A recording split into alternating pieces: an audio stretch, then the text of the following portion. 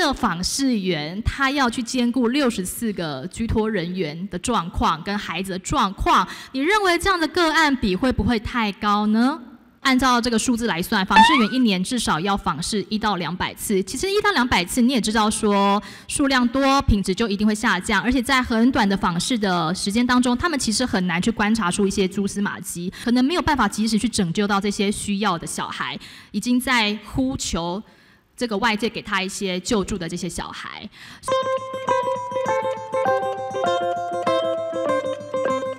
车政部门的所有局处长，大家好。嗯，马上要进入我的问题，就是我们的保姆虐童案频传。去年发生的双北的凯凯案，让人家很心碎，当然也是人神共愤呐。但不久后的四月份呢，我们也发生了高雄的虐童案件，所以我就很好奇了。到底谁可以帮我们了解第一线，去关怀这些居托人员跟小孩子是不是安全？我相信访视员在中间是扮演一个非常重要的角色啦。我们看一下四月份这个案例哦，高雄的虐童案，这个小男孩他才五个月大而已哦，但是他却疑似是被踹啊、踢啊，所以导致于产生了一些不可逆的伤害，像是他的脑就永久的损伤了。但是我们也看到，这个保姆她其实是政府的合格保姆，而且有多年的托婴经验哦。如果说一个政府认证的合格保姆都可以发生这么严重的虐童案了，那么我们爸妈到底该信任谁？政府已经不可以相信了吗？还是我们政府在把关的时候是有一些漏洞的呢？那我们的访视员是不是可以从中来解决一些？我们遇到的阻碍呢？我们看一下这三年的居托人员不当对待事件，总共有三十一案是调查属实的。但是在层出不穷的虐童事件当中呢，谁可以是那双天使的手来阻止、来及时的发现呢？就是我们的居家访视辅导员嘛，所以居家访视辅导员，我们也看到他的工作内容，他是第一线去接触孩子，保姆透过一些观察访谈，了解这个孩子在这边是不是安全，是不是安心，有没有其他的顾忌，他可以从第一时间的了解，从第一时间探访去观察这个孩子的所有的状况哦。可是我们看一下，在养羊这个案子当中，三月四号送托之后，三月二十七。访视员前去访视了，但是没有多久后，四月十号，连二十天都不到，竟然就发生了这么严重的虐待事件，送进加护病房。在三月二十七号，访视员前往访视的时候，没有察觉任何的异状吗？我们社会局这边有没有掌握？访视员有做报告吗？还是说社会局这边知道一些后续的访视结果？麻烦社会局长帮我答复一下好吗？就这个案子，请谢局长回答。嗯，谢谢主席，谢谢议员哦。其实基本上，呃，我们现在目前居家托育中心总共有六个六个区，然后四个团体在负责。好，这些背景资料我们先省略，我就问这个那原则上，社会局对于居托中心的相关的一些访视或者是一些的报告，其实我们自己本身都知道，因为在系统上都可以看得到。好，那你看到了吗？没没看到啊。那结果是什么？他们访视是没有异状吗？对，当下没有异状。哦，那我们可能是要加强一下这些访视员，可能要加强训练啦。你认为说这个问题出在哪里？是训练问题这么简单而已吗？还是你有没有你的观点？你认为说有没有什么方法可以来提早的防范？其实基本上这些我们在事件发生之后都有做内部的讨论。那我们可能就会有一些，比如说因地制宜的职前训练。或者加强训后的一些相关的辅导机制，好辅导，嗨，嗯，然后我们也也也也针对就是我们社会局的同仁，嗯，去稽查居托中心的时候是不预警，然后我们也定期召开联系会议。好，除了你刚提到的训练辅导，还有我们社会局去稽查以外啦，我认为有一个蛮重要的问题啦，是。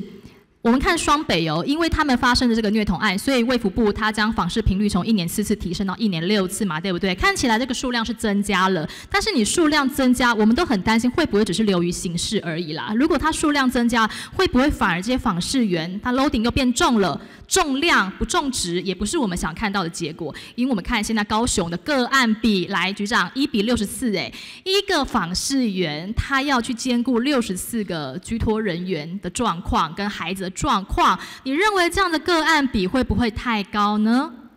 嗯，他这个部分是三千零八十三人的来算嗯一比六十、是那其实有一些是未在职，就他没有提供服务，但他这个还是算在这一比六十的名单里面。嗯。然后再来一比六你们这边有没有掌握确切的个案比？如果说剔除掉你说未在职的这些保姆的话，你这边的数字是个案比多少？这我请科长等会算一下跟医个案院报告。比多少？来，科长。哎没有，现他现在在算。好，苗，那您请坐好吗？你们算一下，来，请坐，没关系，请坐。待会儿算出来再跟我打讲一下这个答案，好，好不好？那我们看了，如果说我们不剔除这些未在职的保姆啦，因为我们其实也没有办法掌握到底谁还挂牌，谁已经没有挂牌嘛，对不对？所以等于说，按照这个数字来算，访视员一年至少要访视一到两百次。其实一到两百次，你也知道说数量多，品质就一定会下降，而且在很短的访视的时间当中，他们其实很难去观察出一些蛛丝马迹。我们要提升。这些次数固然是利益良好了，可是我们也不希望最后结果是这些访视员打开门看一下就关上门就离开了，可能没有办法及时去拯救到这些需要的小孩，已经在呼求这个外界给他一些救助的这些小孩，所以呢。我也认为说，我们一定要立刻来想办法下降一下我们个案的负担比，那还有薪资待遇要提升。当然，我们也知道说，社会局真的经费蛮吃紧的，因为小孩要照顾，老人要照顾，弱势也都要照顾，所以很辛苦，没有错。可是如果说我们可以来增加一点预算的话，可以去提早的阻止一些孩子发生一些悲剧或憾事，这笔经费难道用的不划算吗？我们算了一下，个案比，如果你可以从六十四个下降到五十个，其实一年就增加六百万呐、那如果说更低的话，个案比一比三十的话，一年要增加两千多万，没有错。可是诚如我刚刚讲的，如果可以提早去阻止一些孩子被虐待，然后让爸妈心碎，造成一些社会的动荡跟不安，对保姆不信任。如果可以因为一些经费来解决这些问题的话，那么这笔钱花的是完全值得的。可是我们也知道，访视员的薪资其实不高哦，三十四 K 到三十九 K 是中央补助的。他们就这个补助的范围，再努力、再优秀、再细心，还是落在这个价格。除非说我们地方愿意再多补一点，或是他们机构愿意再多给他一点嘛。如果说这个保姆可能真的表现很优秀，但是永远都加不了薪的话，那难免会造成流动率高嘛。优秀的人因为薪水拿不到好的待遇，所以自然就会离开。这个是一个我们大家都知道的状况。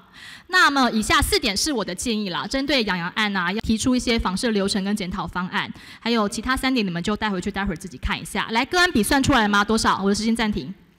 来，请谢局长回答。我们收托的保姆大概是两千五百二十五人，所以他的访视比是五十八点七二，哦，也不低呢，五五十八哎，对。那，这个在中央的话，它的比例是六十，嗯，就中央的规范是六十这是第一个要跟议员说明。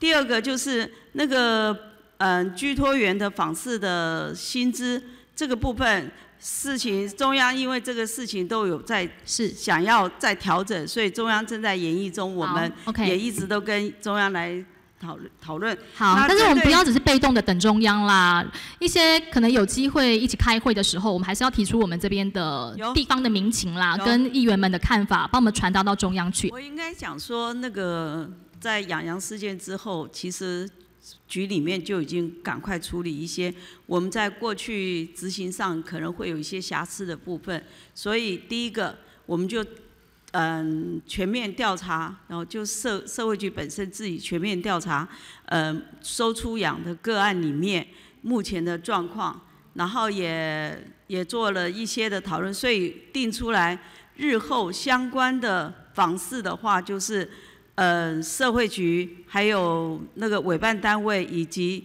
那个居托中心，大家三方一起去访视，这样可以了解这个状况。每个人总是有盲点的时候，还可以看得到一些的改进。然后另外就是对于嗯、社工加强服务跟居托人员的一个加强的训练，嗯，包括他在去看这些个案状况的时候，要看哪些部分，那个都必须要注意一下这些的一个相关。然后另外一个就是加强那个医师的专责的制那个制度，就是跟卫生局合作，有哪些医师来参加我们那个幼儿的相关的这个部分服务，我们社会局来嗯跟这医师来做讨论，大约上是这样子。